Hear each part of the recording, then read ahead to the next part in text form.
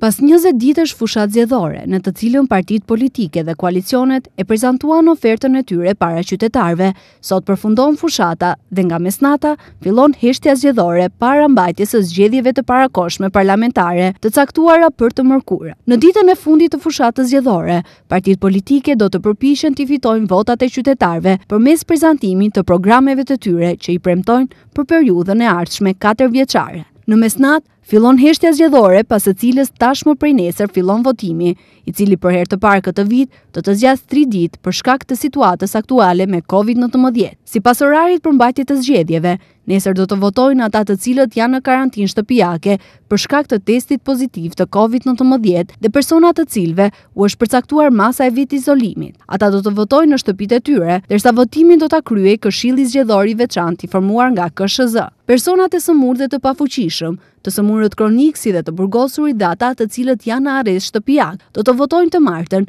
një ditë para mbajtjes së zgjedhjeve.